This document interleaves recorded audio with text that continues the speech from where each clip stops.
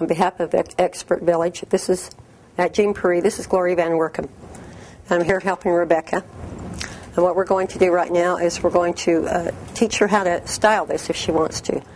So what I need to do is probably get a hot roller, and I can show her how to put the hot rollers in. Uh, if I could get Julie to grab me a hot roller, please, and I can show Rebecca how to put this hot roller in her hair how to turn it and how, how long to leave it in.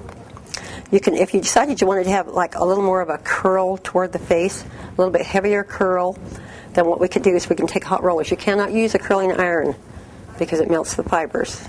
Our fibers only take hot rollers. Hot rollers have a protective coating on them. So you take the electric roller and you put it at the very base of the roller, turn it around so you won't get any fish hooks in it.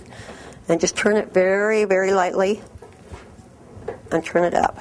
So what you want to do is just leave it in for just a few seconds, and you can use this roller so that it can be very, very hot.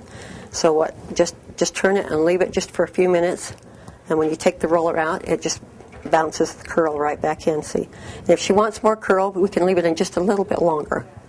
And if she wants a higher curl with more body, then we can start the roller at the top and bring it all the way down to the end, which works very well.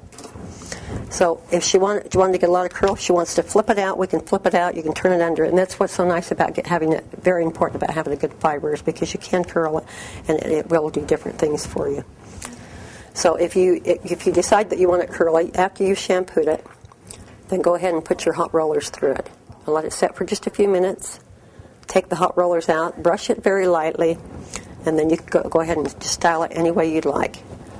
And if you, you feel like you don't want to do that, then we'd be happy to help you here at Jean Paris.